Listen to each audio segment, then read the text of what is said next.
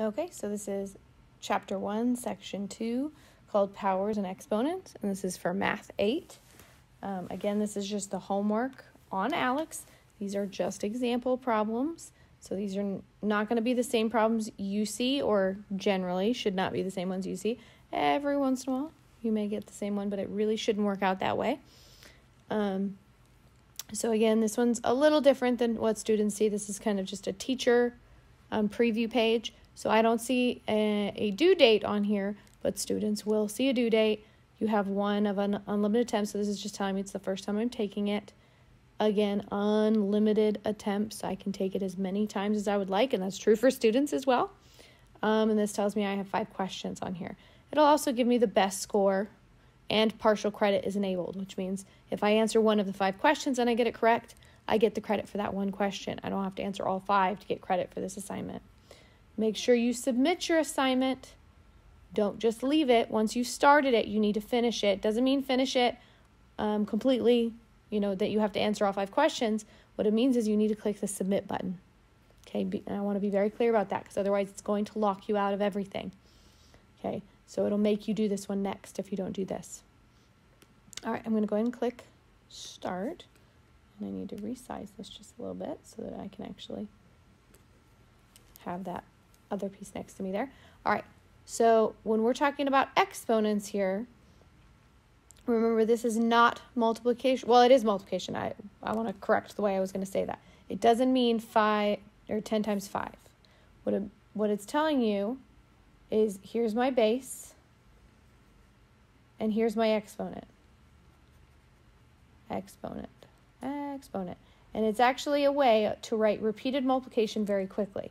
So um, instead of having to write 10 times 10 times 10 times 10 times 10, here's 1, 2, 3, 4, 5 tens.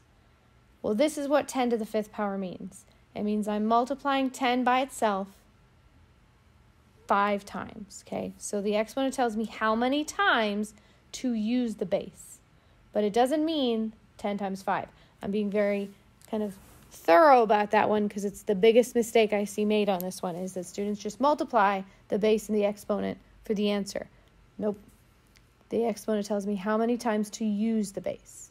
Okay, so if we go through here, we go 10 times 10, we get 100, right? 100 times 10, we get 1,000.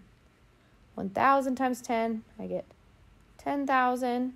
And this one's a little easy because it's just, you know, I add a zero to the end each one, and now I get 100,000. So 10 to the fifth power is 100,000. And I can come over here and I can type in 100,000. I think if you don't put the comma in, it'll accept it. In fact, let's go ahead and try it. Um, I believe it'll accept it. It might give me a warning and say that's not the proper way to write it. Yeah, so this your answer is correct. However, a number this large should be written using commas um, for every thousandth place. So it didn't mark me wrong, but it, it's giving me a warning. Um, and after a while, I know ALEKS will start to mark you wrong on little things like this because it's the proper way to write it. So this is saying alternate answer would have had the comma in it. So it accepted it. It's just telling me, mm, next time write it the correct way. All right, let's continue to the next one here. We have evaluate. So we have two pieces here. So I'm going to give myself a new one here just to, to clear out my board. All right, so we have negative 8 squared, and then we have negative 5 cubed. Now, because the parentheses are here, this specifically means that this negative is included. And I, am being clear on this because you may very well see on your screen something like this or even no parentheses at all, just like this. What that means is that the negative is not included. Okay, you need the parentheses to be around the whole number, including the negative, in order for it to be included. And what I mean by included is this means negative 8 times negative 8. So the negative actually is with it. So I'm using the negative 8 twice, not just the 8. So if I had it like this, it would be the 8 twice. The, the negative is not actually included there. Um, so just be careful about that. Um, with this one, I believe everybody should have something along these lines with the negative since we're practicing that. So with this one, two negatives make a positive, and then I can just focus on 8 times 8, which is 64. All right, this one tells me that I'm going to use that negative 5 three times. So I'm going to have negative 5 times negative 5 times negative 5. So now I'm going to do these, these first two, and I'm going to negative 5 times negative 5. Two negatives make a positive, so 5 times 5 gives me 25. And then I'm going to multiply by 5 again. So 25 times 5, I know I get 125 there, and it was a negative times a positive, so it's negative 125. So be careful about that because that can also kind of mess you up if with the number of negatives. So I only had two negatives up here, which is why it became a positive. I had three negatives down here, which is why it's it stayed negative for the answer. So I'm going to go ahead and type this in, 64 and negative 125. Okay, next one. All right, evaluate the expression when m equals negative 6. So when we have this, and I'm going to go ahead and write this out over here. So it's telling me that m equals negative 6. So for these m's, it wants me to replace them with 6. Everything else is going to stay the same. And remember, this is multiplication. Okay, so I'm putting a little multiplication dot there. So now we have to go through and complete PEMDAS to simplify this or to evaluate this. Um, remember, PEMDAS is for simplification. That's the entire purpose of it is to help you simplify your problem. So we want to go through the steps from left to right. So parentheses first, well, we don't have any parentheses. Exponent next, we do in fact have an exponent.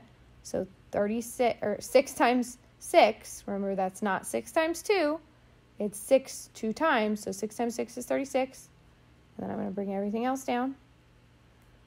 Um, now we have multiplication or division from left to right. So make sure these two kind of go together as well as addition and subtraction kind of go together. So I have 6 times 7, so that gets me 42 plus 8. All right, so we have 36 plus 42 plus 8. Now we have addition or subtraction. Well, we have all addition, so we just need to add these guys together. Let's see. 2 plus 8, that gets me 10, plus 6 more, that gets me 16, and I'm going to mark my 1 there, so I have my carryover. 4 plus 3 is 7, plus 1 more is 8. So it should be 86. Ooh. And I don't know if anybody caught this because this is on camera, but if you did catch it already, good for you. I was supposed to make this a negative 6 in here. And I, I was too quick when I wrote it down. I wasn't paying attention. That would have messed me up. If I type in 86 here, it's going to tell me, uh-oh, try again. Um, in fact, I wonder if it'll warn me on using the negative. Curious. Nope, it just tells me that my answer is incorrect. So it doesn't understand what I did wrong. But what I did wrong was I didn't put the negative in here. So this should not be a positive 42. This should be a negative 42. This is a negative 6 here. This guy doesn't change though. Negative 6 times negative 6 is still positive 36. So the only thing that does change is that 42 shouldn't be positive. It should be negative because 7 times negative 6 will give me negative 42.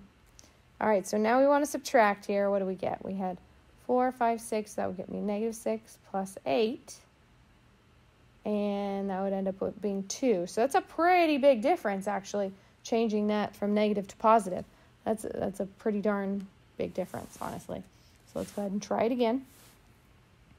And yay! So um, it happens. We accidentally leave negatives off. Hey, teachers do it just as, as much as students, or it's not as much, I don't know, but mistakes are made. Everybody makes mistakes.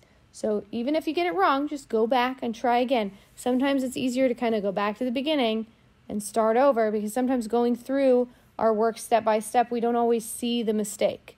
But if we go back and try it again, we end up finding it um, by just going through the steps again. All right, let's go ahead and go to number four here. I'm going to erase my work. All right. And so now we're going to evaluate, write your answers as a fraction in simplest form. So we have 2 thirds to the fourth power. Now with this one, we want to remember it means that I'm using this base, which is 2 thirds, four times. So it's 2 thirds times 2 thirds times 2 thirds times 2 thirds. There are four of them. So with fractions, it's pretty easy. We just multiply across the top and across the bottom. So we go 2 times 2 and I get 4. 4 times 2 and I get 8. 8 times 2 and I get 16. So I know my top, oh, I'm going to scooch that down a little bit more. It's going to be 16. Now I need to do the bottom. And I'm saying top, but numerator, right? Now I need to do the bottom of the fraction, which is our denominator. 3 times 3 is 9. 9 times 3 is 27. Let's see. 27 times 3, we would get 21, 6, 7, 8, 81, I believe. So 16 over 81.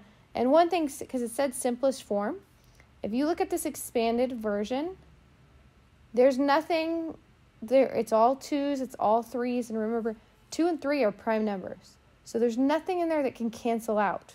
Like there isn't, there aren't twos on the bottom, there aren't threes on the top. So nothing can cancel, which tells me that is simplified. Um, so you, the main thing you want to make sure is that there's nothing that can divide away from both. And in this case, there isn't. The top can only divide by twos, the bottom can only divide by threes. Um, it can also be, you know, nines and fours and things like that, but the, the prime numbers are twos and threes. Okay, so I think enough on that one. 16 over 81. Whoops, that gave me too many boxes. 81, there we go. Check. Yay, all right, last one here. Mm-hmm. Oh, okay, I'm gonna need a little bit more room. All right, so this last one we have negative 3 fourths cubed and negative 5 over 3 squared. And it says um, write your answers as a fraction. So it doesn't want us to turn it into a decimal. We want to leave it as a fraction.